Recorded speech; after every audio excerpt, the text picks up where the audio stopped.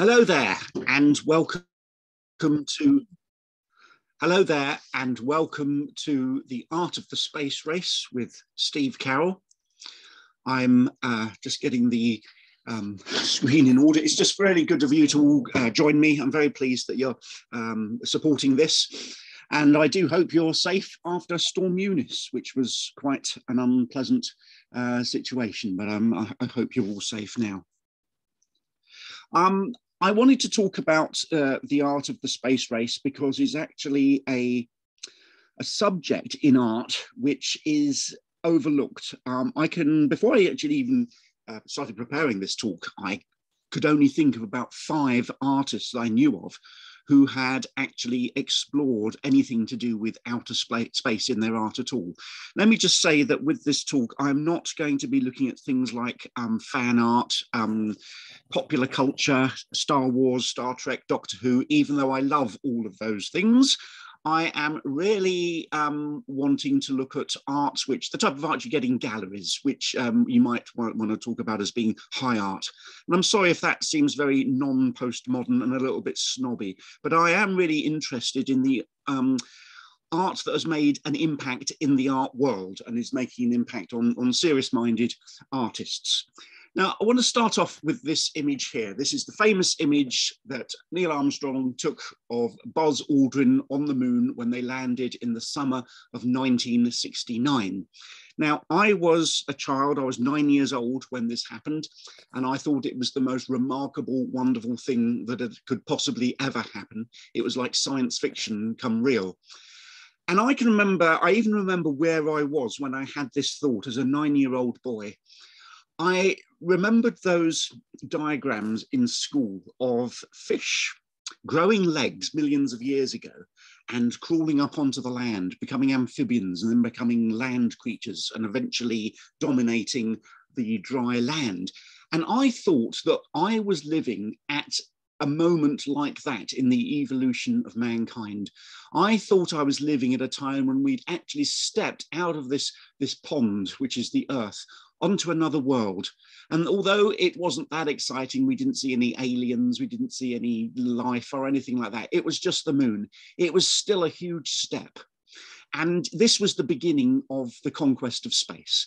And eventually we would be living in a universe a bit like the one in Star Trek, where we would be going to other planets, we would be meeting aliens, we would be having all sorts of adventures out in space. But sadly, that didn't happen budget cuts in the 1970s meant there were no more uh, journeys to the moon. And afterwards, when you look at it, um, it is, was a little bit of a, a, a, propaganda posing. It was basically done, as Neil Armstrong said, to beat the Russians. And that puts a little bit of a you know bad light on it, I suppose. But I'm still fascinated that this fantastic triumph of human ingenuity never had any effect on art. All the great steps in mankind's development. Eh, whether you think about things like the, the Reformation, the Renaissance, the Enlightenment, the Industrial Revolutions, they all had an impact upon how we saw the world, and that was reflected in art. The space race didn't do that. And I'm asking the question why? Let me now turn to this next slide. Uh, this is actually a photograph, and it's a very old photograph, I know. It's of Albert, Albert Einstein and Edwin Hubble. It's taken in 1931 in Hubble's observatory.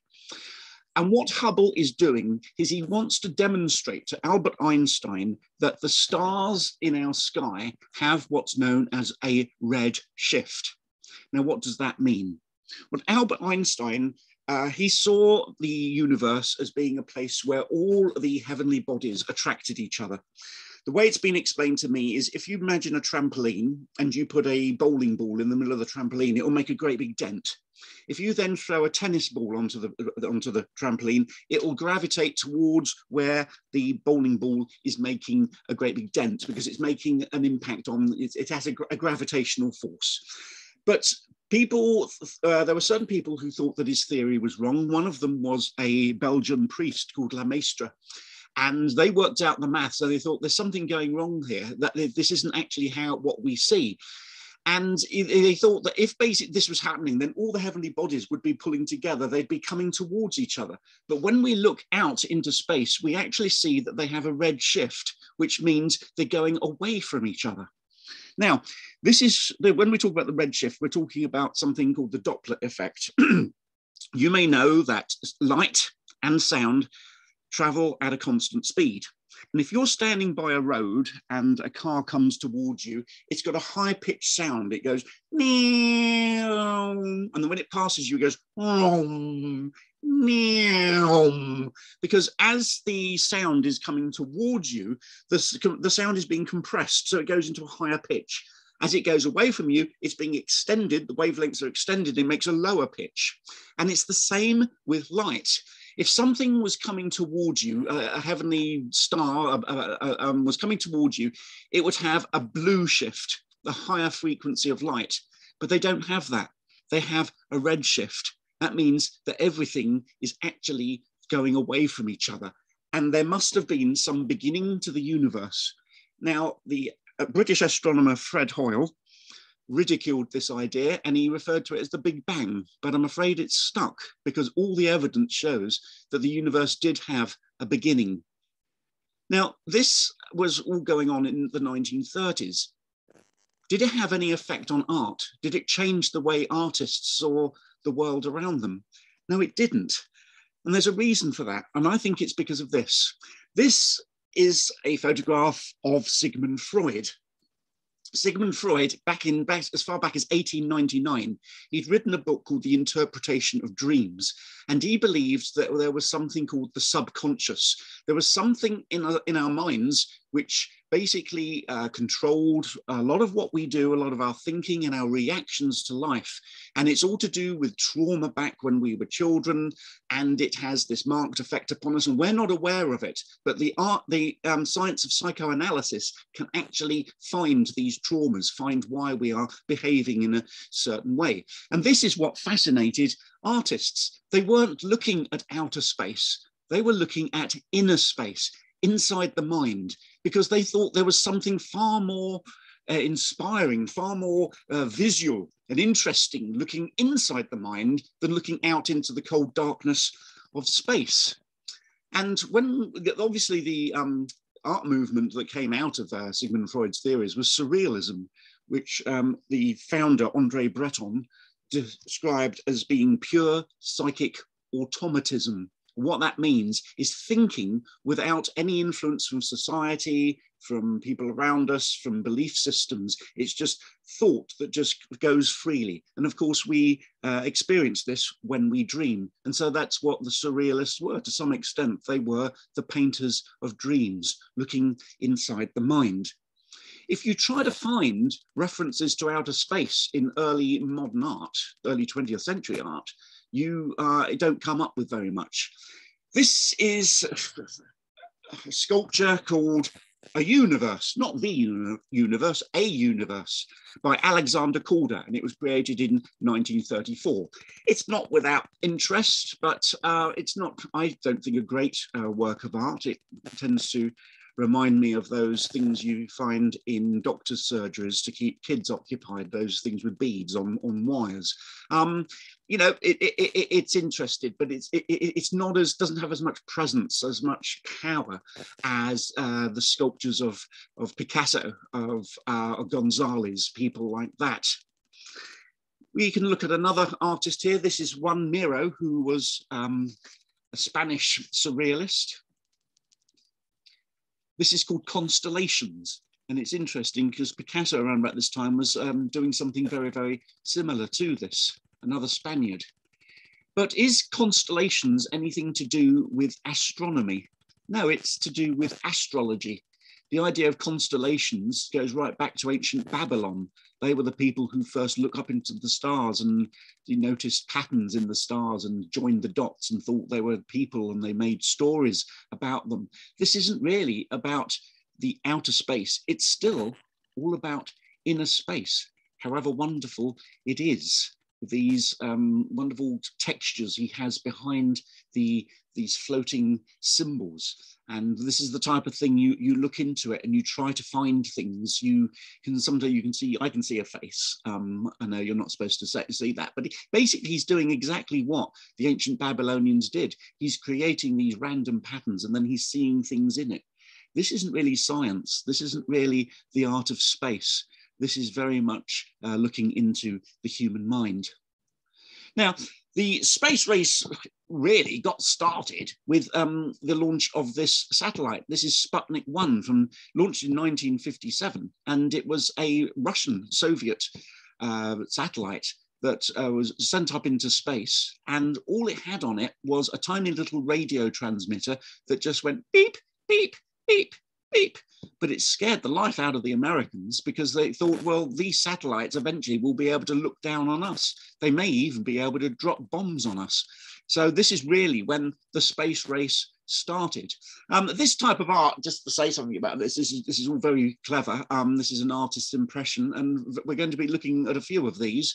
Um, again, I don't see it as, as, as great art. Um, it, they're, they're, important because they were the only way um, that people could get across uh, the vision of the um, space agencies um, you know, if you, you, you in those days you didn't have CGI, you couldn't do uh, a wonderful animation. All you had were paintings, and this is um, one of those. And it, it's a very fine, um, you know, very fine example of that. And then, of course, in 1961, the Soviets did it again with Yuri Gagarin, a handsome poster boy for the Soviet Union, who was the first man to actually go up into space. And as you can imagine, again, this rather, um, rather, rather concerned the Americans who were being kept behind in the Cold War period. Um, of course, you know, the, the, other sad thing well, was that this uh, Yuri Gagarin um, didn't live long after this. Of course, you may know that he was um, he died in a, a, plane accident, and there's lots of controversy and conspiracy theories around that, uh, why he actually um, died. But we'll we'll leave that aside. The fact is, we're now talking about 1961, and there's a real spaceman, a real man in outer space. So the space race is really hotting up.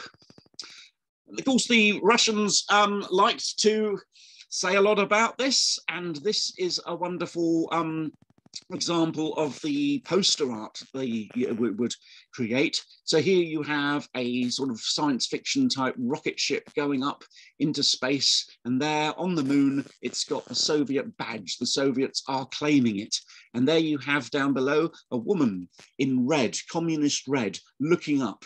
This is so aspirational. This is almost like religious art, but now in a scientific age. And what it says at the bottom is in the name of peace. So we often think about it as being, uh, you know, the, the space race driven by uh, military concerns. But here we have the Soviets saying, no, it's in the name of peace, and it's all done in the name of the workers of the world. Now, when we come to actual fine art, I've said before that it's very hard to find many artists who were even interested in outer space. And as the space race took off, you don't find many American artists who seem to be that interested in what was going on. But the Soviets, they were there way ahead. And way before even the Bolshevik Revolution happened, here you have a Russian artist called Lyubov Popova. And he has done this painting called Air, Man, space and look at the date 1913 to 14 it's just before the beginning of the first world war before the um, communist rebellion had actually even happened. And here we have a painting and the style of this painting we call this cubism it's um, reminiscent of what uh, Picasso was doing back in the uh, first decade of the 20th century. Now, what Cubism is, it sounds like it's got something to do with cubes. That was really just a nickname that was attached to the movement and stuck. It's really looking a different way of looking at perspective. So instead of going back to the Renaissance, when uh, if there was one single point of perspective, there was a vanishing line and everything had to point towards the vanishing line. I'm sure you did that type of exercise at school. What we have here is a painting where the subject, at this time a man sitting down, we are told, um, is actually seen from lots of different perspectives as if the artist is taking snapshots all around the subject and then he's putting those those snapshots together, collaging them together into lots of different views. So you get this wonderful jagged geometric look. And this, of course, was the most, I, I believe, was the most revolutionary uh, style of the 20th century. This is where, where modern art really leaves the old art um, you know, from the Renaissance until the 19th century, uh, leaves all that behind, and it really becomes something new. But what an interesting title, Air, Man, Space. It's almost as if this is predicting the cosmonaut sitting in his Soyuz capsule with all his instruments around him. A very predictive painting. This is another one. This is um, uh, actually after the Bolshevik Revolution, and this is by Konstantin Yuon, and it's called simply New Planet. Now, the Soviets um, were very, very proud of, this, of, of, the, of the, the, the, Bolshevik Revolution. They thought this was something that mankind had never achieved before. Uh, before, it had always been a, a, case of masters and servants, kings and subjects, the aristocracy, the lower classes, the workers. And this was the first time all of that had been toppled upside down. And now it was the basic workers of the world, the ordinary people who were in charge of their own destiny. And to Constantine Yuon, it seemed as if they were living on a completely new planet. This was the new world. It wasn't about discovering America. It wasn't about going to another planet. It was about making this world into a completely different world, a new planet. And here we have this marvelous um, painting where it seems like the people below seem to be still to be fighting and they still seem to be in a struggle or are they overwhelmed by the wonder of what they see in the heavens suddenly this uh, these planets suddenly appear, and it's like you're in a completely new and different cosmos with these rays of light coming up from the Earth. The Earth itself is now a new planet. And you'll notice that the planet that uh, seems to be nearest to us, that one um, over on the left, is a red planet. And of course, that had a lot of political symbolism to the Soviets. The red planet. Were we now living on the red planet? Could we make this the red planet? And so you do find in a lot of uh, Soviet um, creativity this emphasis on Mars, the red planet. And this is a, um, uh, a, a, still from a film that was made. First of all, it was a play, then it was turned into a film, and it's by Yakov Protazanov, and it's um, called Aelita Queen of Mars. This was made in 1924. Now, this film is basically all about a man called Los, who's in Moscow, and suddenly Moscow starts receiving these strange radio signals. And he wonders what they are, and he realizes they're actually coming from Mars. So he climbs into a rocket ship that he was actually building in his spare time. Now, let's just stop there. 1924, the idea that they were already thinking about building rockets and there were also scientific experiments with rockets, uh, looking at different fuels, different, you know, different trajectories, all this type of thing. Um, and so they were, they were already considering this. But Los gets into his rocket and he goes off to Mars. And there he falls in love with Aelita. And on Mars, there's a terrible um, oppressive regime, a terrible, you know, capitalist, capitalist regime. And what um, happens is Los and his uh, newfound um, love, Aelita, um, end up being put in prison, but they escape from prison and they start a rebellion and they get the workers to rise up against their overlords and to actually crush the system. But the only problem is Aelita wants to become queen. She wants, basically, she's going backwards. And, uh, but Los you know, says, disagrees and he actually ends up killing Aelita. And then all of a sudden he wakes up to find it was all a terrible dream and that the radio signal hitting Moscow wasn't from Mars at all. It was an American adver advert for car tires. But when we look at this, if you think about uh, what, what, the art that we've been looking at, the art of cubism with all these strong angles, you can see this in, in this, this still. Look at the strong angles in the background. Look at the costumes. Look at that strange perspex beard the man is wearing. And look at that strange skirt that she's wearing. It's like a piece of kinetic sculpture. So as she walks along, those hinged uh, structures um, move with her.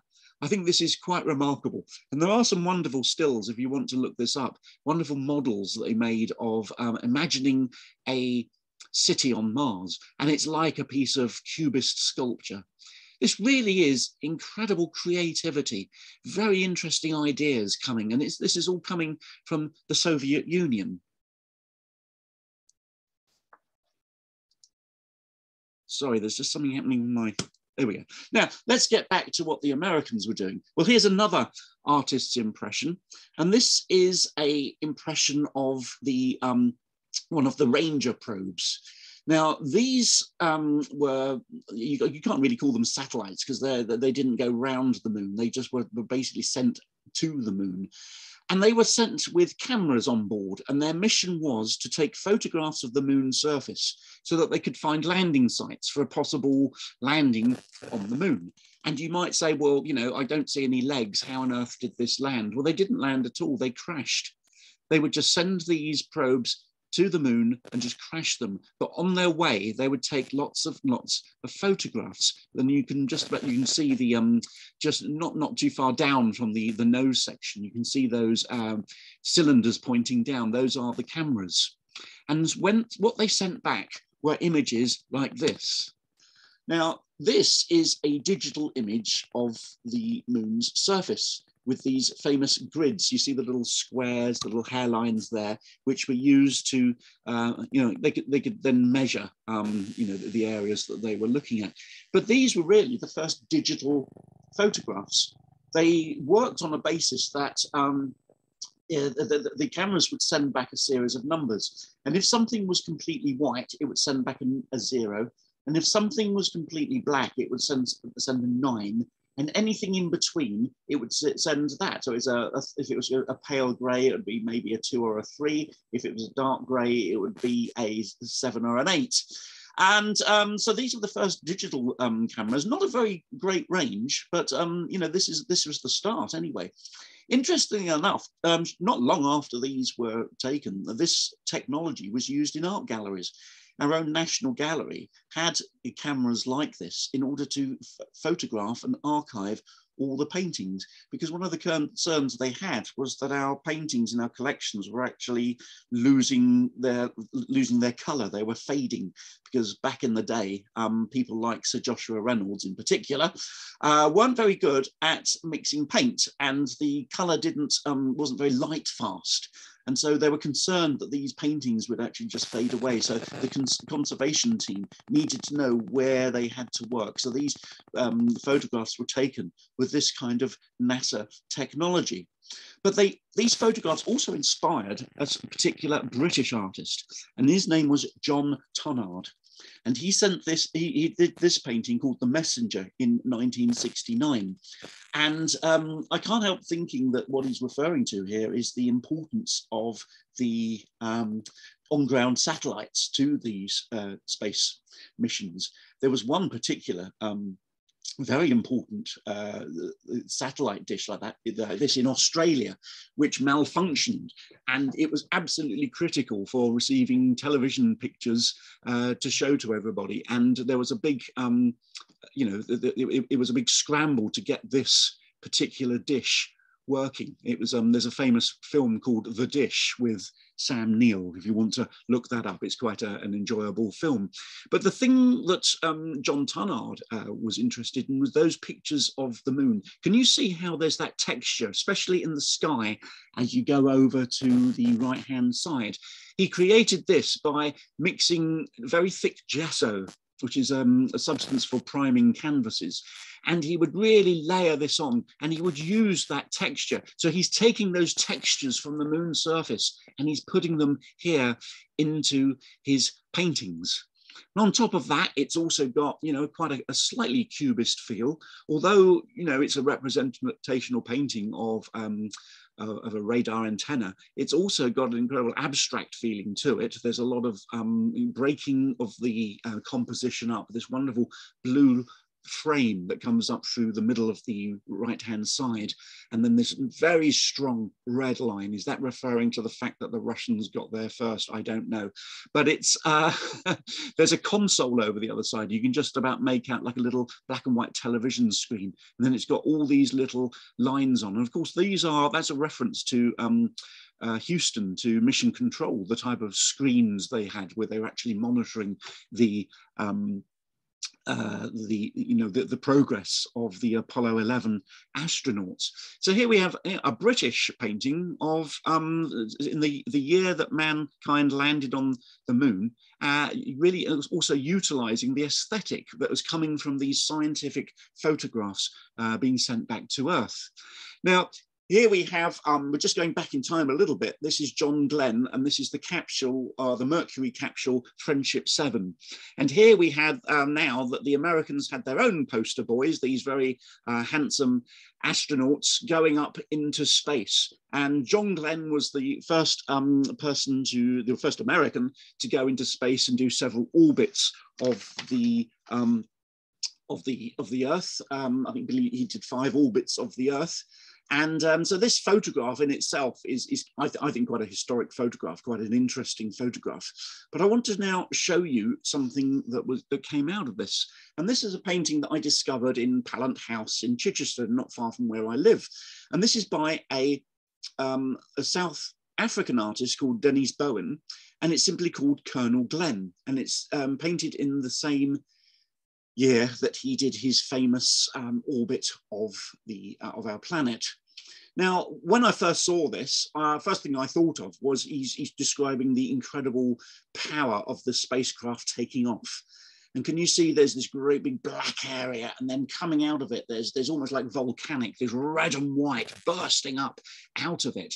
And he's done a little bit of a Jackson Pollock. He's splashed some of the paint on really because it's the only way you can really get across the immense power and energy of um, a, a, spacecraft launch.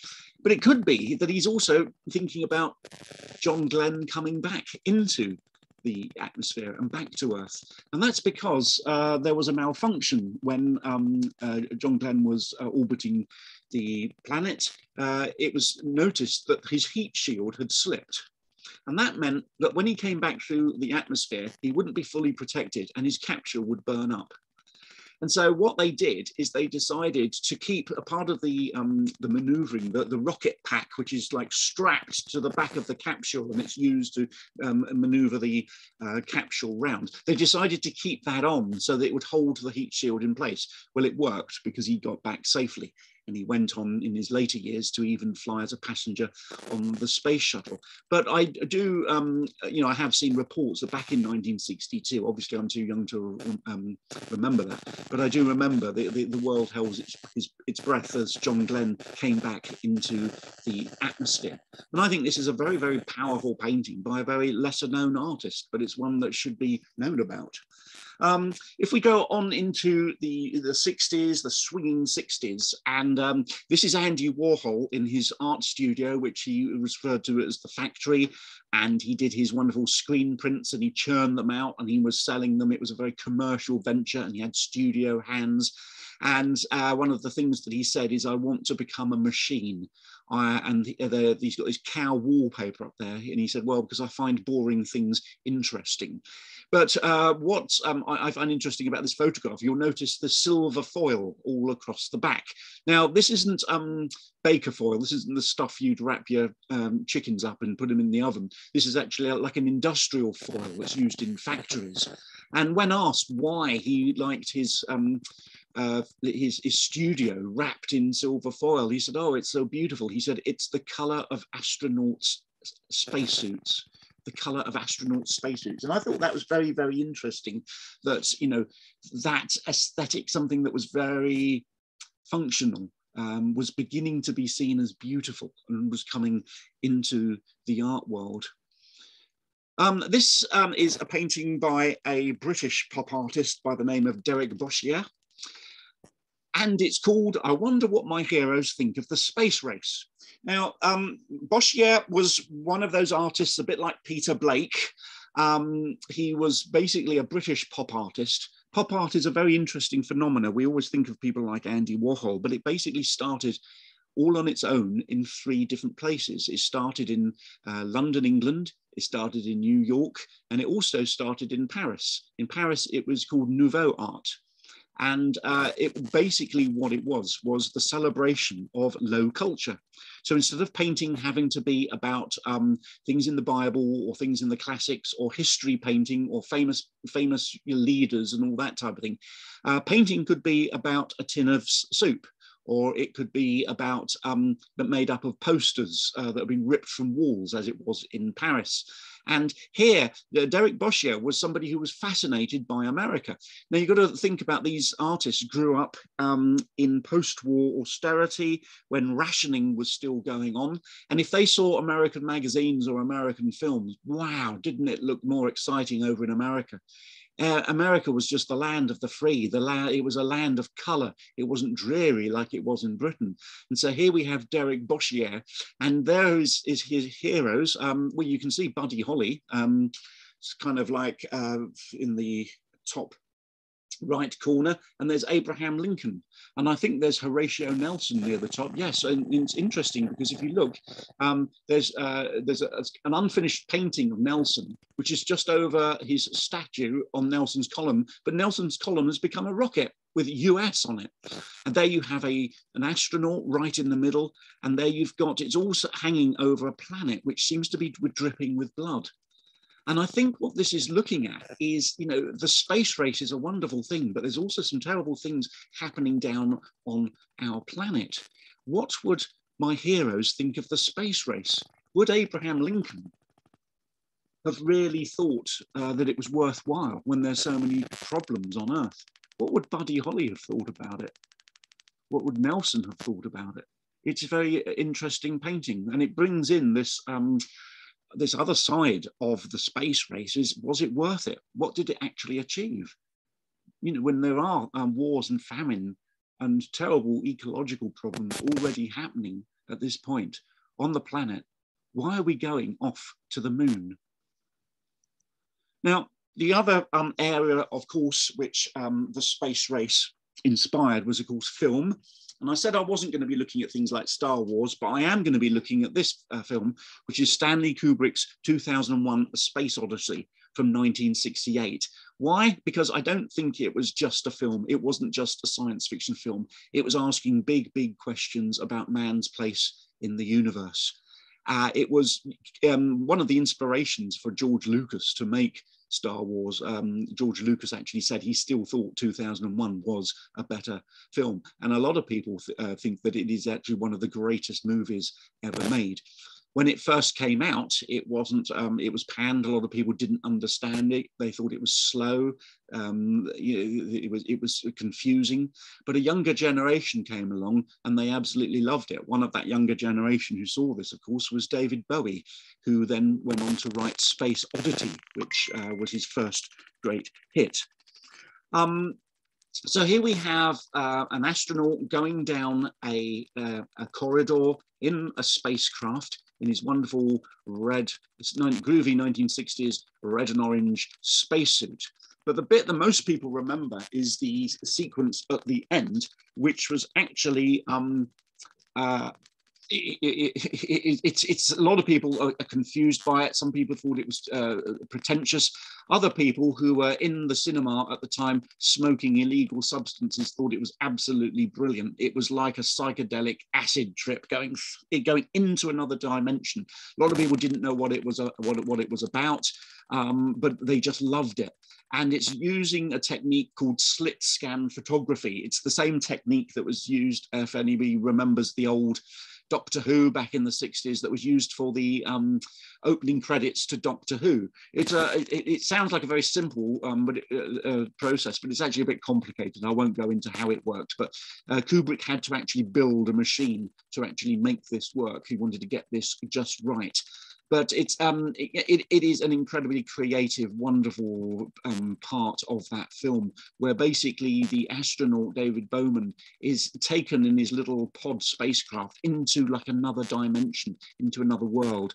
And uh, I have to say, when I first saw the film, you do feel a bit lost. You do feel, where on earth am I? Where where am I in the film? You know, the old film seems to have been left behind, and I'm just in this other world now. It's very very disconcerting. Uh, a wonderful piece of cinema. But um, later on, there was another. Um, oh, um, no, yeah, there was another um, film uh, that was made by a Russian, and this was um, Solaris, which uh, was made by Andrei Tarkovsky, a wonderful, wonderful filmmaker.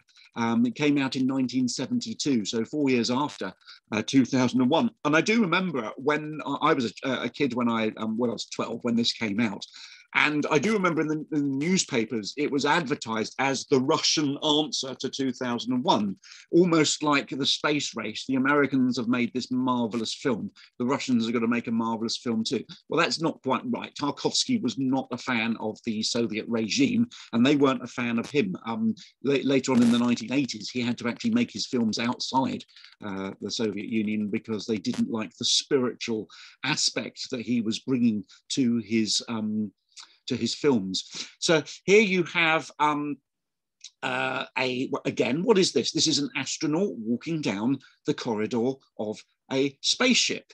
But he's not wearing a groovy orange and red spacesuit. He's got, got his pant. He's got his in his pants, and his shirt is tucked into his pants, and he's walking barefoot through this littered, really awful um, really untidy space station called, and the space station in this story is orbiting a planet called Solaris. Now, this is based on a book written by Stanis, Stanislav Lem, and the story is about a planet called Solaris. And when you um, go to it, go anywhere near it, the planet has this way of creating hallucinations. But the problem is the hallucinations become solidified, they become real. And whatever is your deepest concern or your, your deepest hang up in life, it makes that, it makes a hallucination out of that. And the, the, the actual people you're thinking about become real. And in the story, the, um, the, the, the, the, scientist here who's walking down the corridor, um, his wife had actually um, commit suicide. And what happens is that his dead wife keeps, uh, comes back and reappears and they fall in love again and it's all wonderful. But the problem is the hallucination is so real that the psychology of the wife becomes real and she keeps committing suicide over and over again. And it's a very harrowing and very strange film.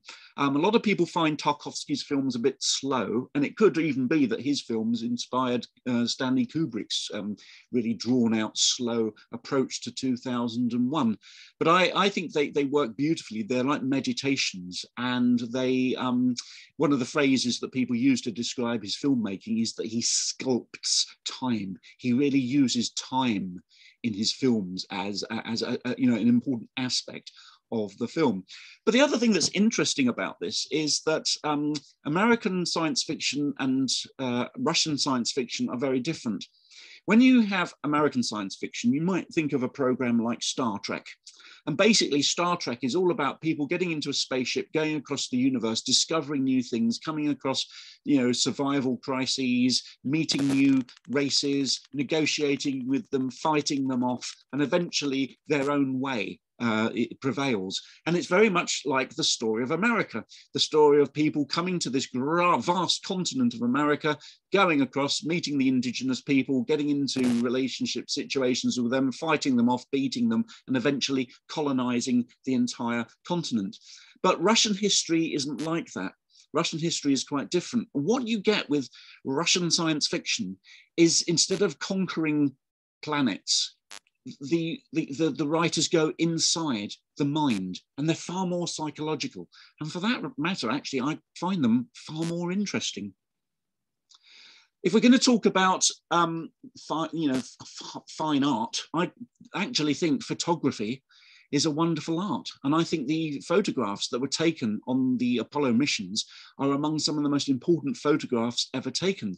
And here we have a very, very beautiful picture of the command module. Now, this was taken from the lunar module um, that had just been to um, you know, landed on the surface of the moon.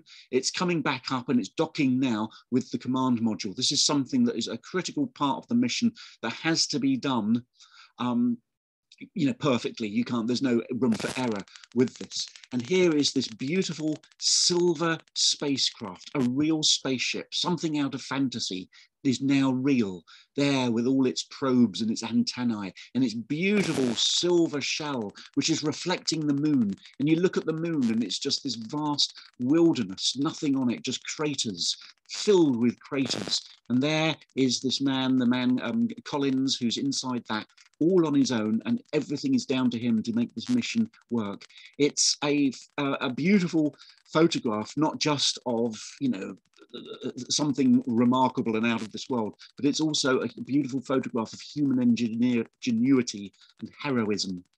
This, of course, is one of the most famous pictures. It's the picture of the astronauts' um, footprint on the moon. And it, it, you know, just a simple thing like that, a footprint. And yet, what does it say? It says so much about you know, the achievement, actually get there. We've actually made our mark, our imprint on the moon. And of course, the thing about this footprint is that it will never, never ever blow away. It will always stay there. It will always, um, there's no wind on the moon, so nothing's going to blow it away. You can go back in a thousand years' time and Neil Armstrong's footprint will still be there it, it, it, you know, it basically, you know, isn't this art? Isn't this like making your mark, making an impression? That, you know, this is as well as being um, a wonderful photograph and a wonderful achievement. It's always like a piece of art, like the very first cave paintings when human beings made their um, their longings and their their desire for survival. Uh, apparent by um, putting, you know, their food stuff, what they hunted, um, onto the cave, the, the, walls of caves. Now we have human beings just putting their footprint bang down onto the surface of another world. And it's like saying, we're here, we've made it all the way from the caves to the moon. I think this is a remarkable, remarkable photograph. As is um, this one, this is a photograph called Earthrise. And um, we've seen photographs of moon rises, um, the moon coming up over the horizon. We've seen photographs of the sunrise and the sunset, but never before had we ever seen Earthrise, the actual Earth coming up, appearing over the, the dead landscape of the moon. And this had a very strong impact upon a lot of people because not only is it a wonderful, you know, beautiful photograph, but it, it, it, it's, so, it's very meaningful because, you know, you've got to think that like the Vietnam War was raging down there. You've got to think that all the things that people got upset about, the, the Cold War, the arms race, the uh, what was happening in Africa, Biafra, all these things were going on down there. But that's all we've got we don't have anything else. If you come outside of Earth, you've just got this dead moon.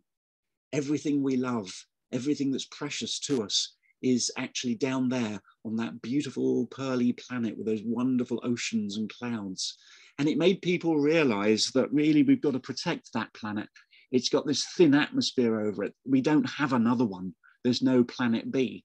And so it also inspired a lot of ecological concerns. So, you know, I think this is, a, a, again, a very, very momentous, wonderful photograph.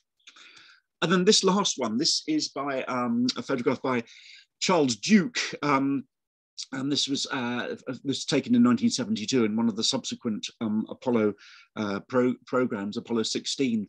And what he did was he took a photograph of him and his family, and he put it in a plastic bag and he just left it on the moon. So he can tell his kids, uh, there's a photograph of you on the moon. So when those those boys growing up, they're probably, you know, the CEOs of companies now, they can they always know there's a photograph of them with their mum and dad on the moon. I think this is quite a remarkable thing, the perfect American family on the moon. Of course, one of the problems is, unlike the footprint, the light, um, the sunlight hitting the moon is pretty powerful. Um, if you look at the um, the actual rock of the moon, it's actually basalt, which is actually a very on this on Earth, it's a very black, dark uh, rock, but it's been absolutely bleached by the constant sunlight. There's no clouds. And uh, so, um, you know, it, I think this photograph will eventually fade, but it's still a wonderful thing. I'd love the, the somebody to maybe go there uh, when they go back to the moon and actually find this. It's, a, it's a, like a piece of conceptual art, this for me. I think it's quite wonderful, but it also raises questions about ownership and about, um, you know, about the, the, values of the people who went up there, people with very, very conservative values, and questions about does that really represent the whole of the planet, the way in which society runs down below. Now, here is, um, uh, at last, we have a, a, picture by an American artist of the Apollo mission. It's called Moonwalk by Andy Warhol. But if you look at it, 1986, Andy, why did it take you so long to do something about the moon landings? Um, because this is now uh, more than a decade old uh, the, this image of Armstrong on, on the moon um, and with the American flag. Uh, and to me, it's if there's something a little bit, I don't know, a little bit dull about it, uh, simply the fact it took so long. And also, it's one wonders whether um, Warhol is really celebrating the achievement of landing on the moon. I think it looks far more like the logo for MTV, which would have been starting around about this time, would have been um, in full throttle actually. Uh, the music um, TV station that was available to people. So you could see just non-stop music videos. Um, they had a logo which was very much like this. And uh, I think that's what it's, it's, it's, it's um, referring to. I mean, one of the things, remember, Warhol said was that um, I find boring things interesting. And one of the things, the criticisms was the coverage of the moon landings had become very old hat. And people were thinking to themselves, well, um, you know, we, we've, we've seen that. How can you make this more interesting? And so you had people like taking little lunar rovers, where you saw Alan Shepard took some golf balls up in Apollo 12 and um, uh, he played golf on the moon, but it, it, was beginning to get a little bit passe. And I actually think that's what Warhol is saying, is that it's become like a product that you sell, like a tin of soup or something like that. It just happens over and over again. Yes, the Americans stick a flag in, on the moon, but it's actually becoming a little bit dull. And one of the um, uh, one of the things about um, the American uh, moon landings is, of course, that you know there is this question: was it really worth it? I mean, they brought back moon rocks, but did you know that the Russians actually sent a probe called Lunokhod, which was like a kind of a robot rover?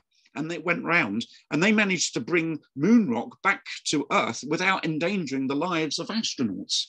And you know, there, there is this big thing. You know, is it worth it? Is it worth all the billions and billions of dollars that was spent to do this? And one of my favourite um, reactions to this is a poem by the African American poet Gil Scott Heron, who at the time of the moon landings, he wrote a poem which was simply called Whitey on the Moon. And I'd like to recite that for you. A rat, Whitey on the Moon, a rat done bit my sister Nell with Whitey on the Moon. Her face and arms began to swell, and Whitey's on the moon. I can't pay my doctor bill, but Whitey's on the moon. Ten years from now, I'll be paying still with Whitey on the moon. The man just upped my rent last night because White is on the moon. No hot water, no toilets, no lights, but White is on the moon. I wonder where he why he's upping me because White is on the moon. I was already paying 50 a week with Whitey on the moon. Taxes taking my whole damn check. Junk is making me a nervous wreck. The price of food is going up. And if that, that shit wasn't enough, a rat done bit my sister Nell with Whitey on the moon. Her face and arm began to swell, but Whitey's on the moon. Was all that money I made last year for Whitey on the moon? How come there ain't no money here? Hmm, Whitey's on the moon. You know, I just about had my fill of Whitey on the moon. I'll send these doctor's bills to Whitey on the moon. Special airmail, Whitey on the moon. That's quite powerful. And during the um, launch of the Apollo uh, 11 mission, um, busloads of African American people. Um, the, these were these often these uh, protests were organised by churches, uh, Baptist churches down in the deep south, and these coachloads would come to the moon landings to protest, saying you're sending a, a white guy up to the moon, and we're living in substandard, um, you know, living conditions. And I think that's a very, very powerful statement and a very, very powerful question about this.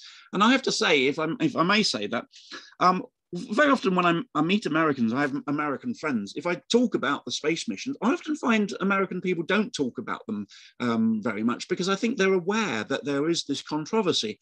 And interesting enough, when I have met Russian people and I've spoken about the Russian space missions, they've been very proud of it and very happy to talk about it because very much it was um, the workers, the ordinary guys, the ordinary factory workers who built those machines, and they see them as a triumph for the people Here's another um, thing that uh, is causing controversy. Now, this is a, um, uh, a plaque from a probe that was sent out into space in 1972, because after the moon landings were axed, um, after Apollo 17, um, they um, they were they were considered too expensive. They weren't you know, seen as very necessary. We're now entering into the age of the deep space probes, of probes being sent out into the outer reaches of the solar system. And the, the thought was that when they actually reach the end of the solar system, they're going to go out into wide open space. There may be civilizations out there, there may be aliens. So, what are we going to say to them? We can't write in English we have to um, write in symbols. So what they um, have is if the top there is a very, very simple diagram. And um, if you see two circles with like uh, two eyes in it, right at the top left, that is supposed to be a very, very basic symbol for the hydrogen atom and that's you know the basically what they're saying is that we are we understand that the basis of all life of all existence of all material in the universe is the hydrogen atom. So it's something telling them about you know, what we know where our intelligence is.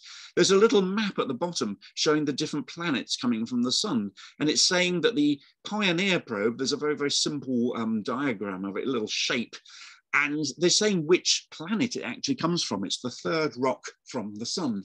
But the controversial bit is that um, the, the, the, man and the woman at the top. Basically, what this is saying is that, you know, yes, we're humans, this is what we look like, and hello. Now, uh, part of the controversy was obviously they're naked and we tend to wear clothes and they're going to get a bit of a shock when they, they actually meet us. But the, the more, more greater concern was the ethnicity uh, when you've got a, um, a planet where there are far more people of color than there are white people, and you put these two white people up there, a very well built male and a very curvaceous female. This is very much from a male perspective. You'll notice that it's the man who's stepping forwards and he's the one who's taking the initiative, initiative to say hi, uh, whereas the female isn't really even making eye contact. She's in a submissive state and we could go on you know we people could say you know about talk about the ethnicity. They could, might even say things like about the sexuality the gender all this type of thing which people are con- concerned about nowadays. None of that is reflected. And it's thought that if the aliens do see this and they come to earth they're actually going to find a very different humanity to the one that's actually represented here so here we have the Voyager probe. This was um, a wonderful probe. There were actually two probes, and this was the these were the ones that went out and looked at the outer planets Jupiter, Saturn, um, Neptune, Uranus. Um, Uranus, Neptune, and um, sent back these wonderful photographs like we'd never ever seen before and discovered things like that um, one of the moons around uh, Jupiter, Io, actually has an active volcano on it. Uh, that was found quite by accident um, by somebody who was working a late shift and suddenly noticed something on a screen and said, hang on, what's that? And then stopped and uh, spent some time actually analyzing it to find out Io was still uh, a volcanically active satellite.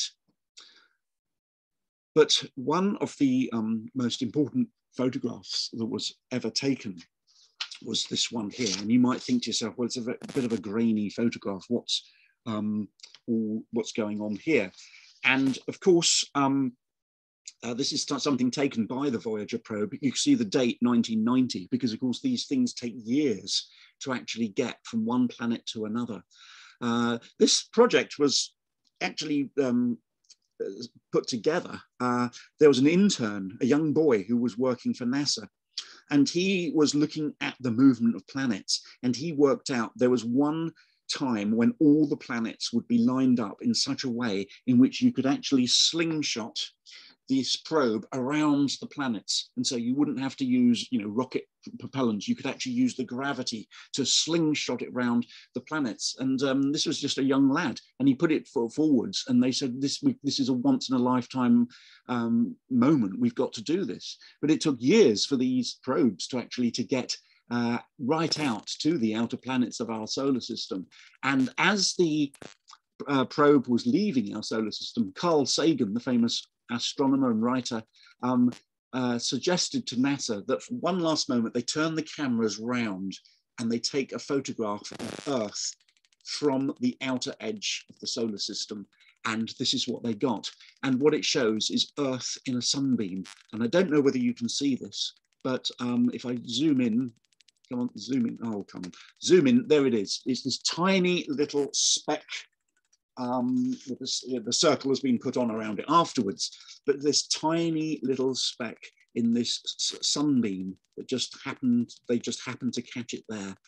But it's another one of those pictures, a bit like the one Earthrise, where you realize that everything that we hold dear, everything that we believe in happened on that tiny little speck in the midst of all that space. And it's very humbling and I think these these photographs are very important for us to, to think about just the vastness of the cosmos that we're actually living in and just really how small we are. You know, I remember I think it was Roosevelt who, um, when he um, at the end of the a week, a busy week in politics, he used to take a trip to an observational um, telescope and he used to look out at the planets and at the stars. And he did that to put everything in perspective, everything that he was thinking about. There is this bigger world out there, this bigger picture. Uh, I think this is, the, this is all wonderful stuff. Um, other photographs, this is from the Galileo probe, and this is the surface of Europa. Now, Europa is a frozen moon in the orbit of Jupiter. And it's, I think that's quite a wonderful, a beautiful image. I mean, I could imagine that inspiring artists. I know actually artists who have um, seen a talk I've given on this subject and have gone away and have created things inspired by this. Uh, all those canals, all these strange seams, going so naturally through the ice. And it, it's one, it's a place where there are some people who believe that if we could just land something on Europa and cut through the ice, possibly we could find life. It's the only place in the solar system where possibly there could be um, life underneath the ice, fish, something like that. Uh, and, and, they'd be warmed up by volcanic vents underneath the ice. And we know, don't we, from Io, that there is volcanic activity on the moons of Jupiter. But I just look at it and I just think of it as a very, very beautiful image. And I could look at this for a long, long time. It's as good as anything you see in nature on this planet, and it's as good as any abstract painting you're ever going to see. Wonderful. This is the Hubble telescope, which was launched in 1990, and some of you may remember that when they first launched it, the um, it wasn't taking back very good pictures because there was something wrong with the uh, actual lenses. Uh, something was just quite out, and they had to send a space shuttle up to fix it. But it's still a wonderful thing. Hubble, named after the scientist who persuaded Einstein that the Big Bang was real. And when these pictures came back, they were absolutely amazing. This one is called is known as the pillars of creation. And it's so far away that it's thought to be about 7,000 years back in time, i.e., that what you're seeing happened 7,000 years ago. It's taken that long for the light to actually reach us. And it's called the Pillars of Creation because this is an area of space where stars are born from these condensed pillars of matter uh, the stars actually ignite and stars actually, you know, form, which is mind blowing to me. I, my favourite um, comment was from Roy Strong, Sir Roy Strong, who said that this photograph was his famous favourite image of that year when it came out in the early 90s. He thought that it should be used to illustrate uh, William Blake or the Book of Genesis. And yes, that's what I think. I think it is a breathtaking image uh, something actually even more beautiful than science fiction artists and you know writers and filmmakers could even have imagined. The what's out there is is beyond imagination. I want to go back to Russia now. This is from 1985. Now look at this. This is the same year that Andy Warhol did that moonwalk um, screen print. And here we have something which, to, for my money, is far more interesting and far more exciting. It's by a Russian artist called Ilya Kabakov, and it's called The Man Who Flew into Space from His Apartment. Now, I've actually seen this, and it's a, what we call an installation. And uh, what it shows is a very, very, very untidy, uh, like a bed set, which has got a camp bed and a wooden bench and it's uh, stuff all littered over the floor. There's his shoes, which have been left behind. And on the walls are posters, uh, Soviet posters, posters about what was going on in Russia at the time, um, even sports posters.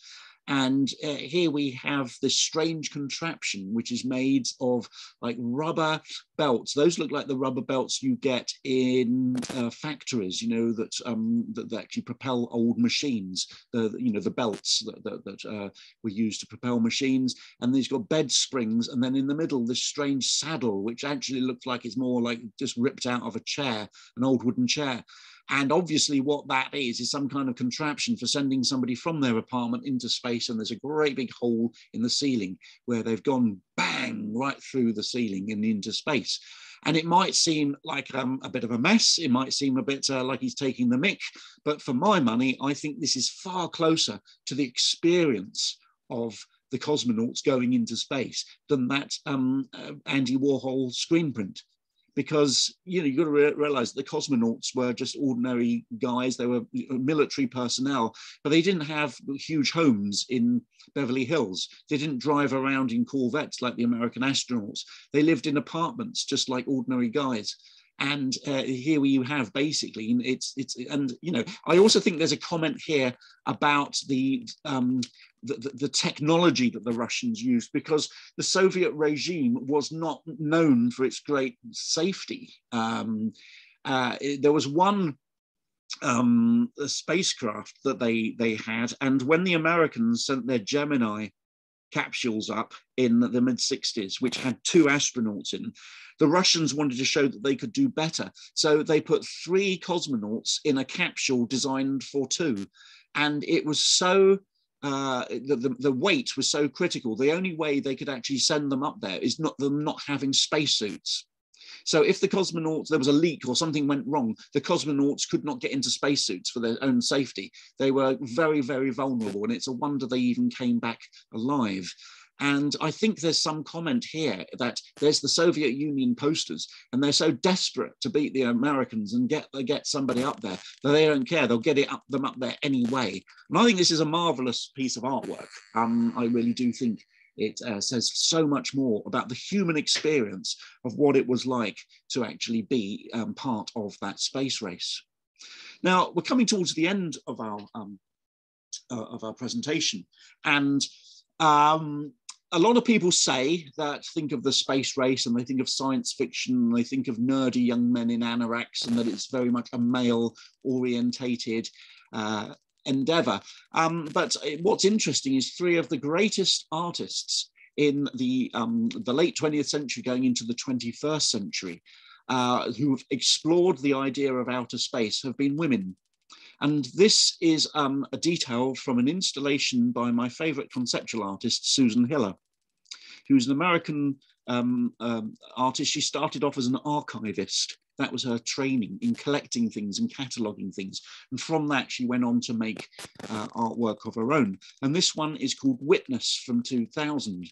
And I've seen this uh, piece. What you have is a load of radio speakers, each one of those little circles, which is looks a little bit like it could be a spacecraft or a flying saucer or something, is hanging from a wire. And each one of those is a radio speaker. And what you've got playing out of each radio speaker is um, the testimony of somebody who's actually observed a UFO and you, you, when so you see this and you hear this sort of like murmuring as you get close to it. And then when you actually walk up and you can actually walk underneath these and among these uh, you can actually hear people talking about their experience of seeing a ufo and then when you look up you notice that the uh, arrangement of uh, microphones is actually arranged in the form of a cross hanging up in the in the ceiling. And she said that she wanted this to have the the, the effect of being almost like a confessional that these people were talking about things and they knew people wouldn't believe them or people would ridicule them, but they uh, said their story anyway. And it was a bit like a confessional, like confessing your sins to a priest. And um, I, I, think it's absolutely wonderful. Susan Hiller is her interest is in those parts of the human psyche and human experience that we don't talk about. So a lot of her work is about conspiracy theories and about hauntings and ghost sightings and UFO sightings. It's all about that because that's what she finds very interesting, the things that get marginalized. Let's look at another one, because actually this is one of my favorite pieces of modern artwork ever in the, well, certainly conceptual artwork. It's um, this is called Cold Dark Matter from by Dame Cornelia Parker. Now, what this is is um, uh, Cornelia Parker built a old rickety wooden shed in the middle of a field, and she stuffed it with bric-a-brac that she'd found from jumble sales and charity shops. And then she got the British Army to come along and blow it up. And there's even, we've got film of her doing it. Um, and uh, then what uh, Cornelia Parker and her studio hands did is they went around the field picking up all the burnt bits of shed and all the bits on the inside, and they hung them up on wires with a, a light bulb in the middle. So it actually represents that moment of explosion. And what it's all talking about, of course, is the Big Bang, the fact that the universe came from a single moment, a moment of creation. And I think this is absolutely wonderful. I've been told off for um, going in here and blowing and making some of the bits swing, and the, the attendants have said, "Could you not do that, sir?" But I, I just find it so fantastic how well balanced it is and well put together it is. But the fact that there's all this bric-a-brac, all this stuff on the inside, there's musical instruments, there's household things, there's toys, there's you know um, things which could even be seen as um, status symbols. They're all in there. And what she's saying is that everything we worry about, everything we show off about, everything that we're concerned about, it all started off from that one moment of creation. If it wasn't for that, none of this would exist. And all the matter uh, that these things are made of, it all came from this one single point. And I think that's a very poignant uh, you know, point to make. To me, this is like um, a piece of religious art. I would love to see this hanging in a cathedral. And God said, "Light, let there be light," and there was light. That that's the type of feeling it, it gets, uh, it gives me. I think it's absolutely wonderful. Another female artist is Yayoi Kusama, the Japanese artist who um, spent a long time in America, really sort of got, got famous in America, uh, but now uh, works back in her native um, land of Japan, where she's a bit of a superstar there. And this was um, uh, another installation that she put together that I had the, uh, the wonderful privilege of being able to go in and have a look at it back in 2012. Um, this is actually on show at the moment as I speak in the Tate um, uh, the Tate Modern, but uh, you have to have tickets. And I went towards the end of December, and I was told you can't get tickets for this until the beginning of April. It's a very, very popular installation. I'm glad I managed to see it when uh, when I could. But what it is is a room, and on all of the walls there are mirrors. And then hanging in the room are these lights, and these lights change color. They're a bit like you know those fancy Christmas lights, but they're all little globes, little spheres. And when you walk into it, you just feel as if you are in outer space. You, you feel as if you know the, the, the, the, it would just go on forever and ever and ever and it is actually one of the most beautiful one of the most remarkable uh, experiences I've, I've ever known um, and I would if, if you are prepared to wait to get tickets you do get an opportunity to see this then I would recommend that you um, go and do go, go and do so because it is absolutely marvelous uh, experience. But you know, again, notice it's these three female artists who are who are doing this, and you know, I have to say, I, I often find that the, the most leading edge artists today are, are, are the are the girls. If you'll excuse my, my expression, there's the the female artists are much better, um, and they they're, they're kind of looking into areas that a lot of people think are taboo. You don't you don't do art about that, but they're doing it, and I think that's a, a remarkable thing, a remarkable um, change that's happened in the last 50 years or so.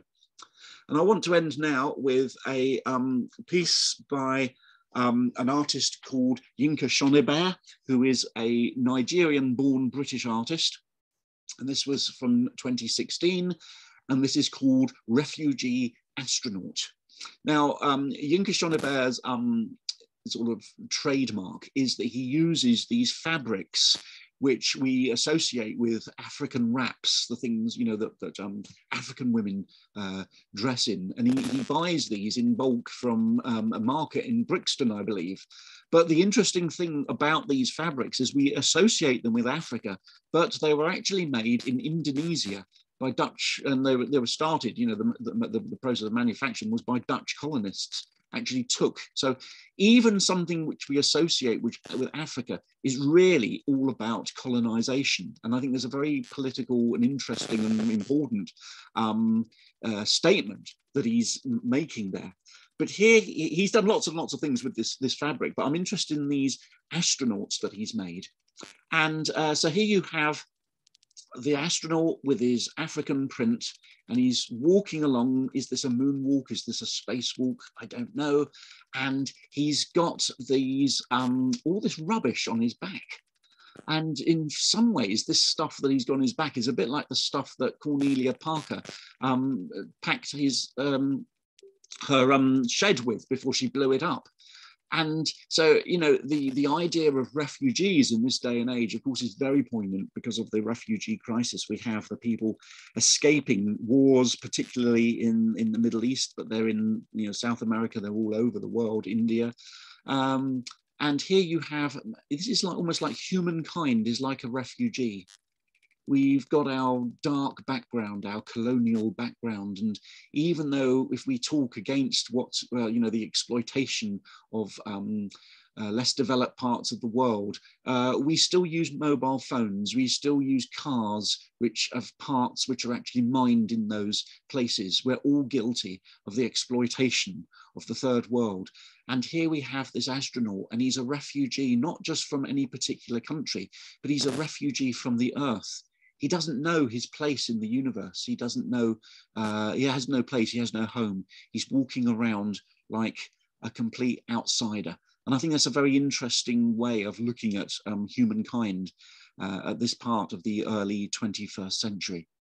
So that's my presentation. I hope you've enjoyed it. And I want to say thank you very much for um, joining me and uh, watching this. And I hope in some ways this might inspire you to dig up other artworks, look at look up some of the names I've mentioned, and actually find for yourself your own artworks inspired by the space race.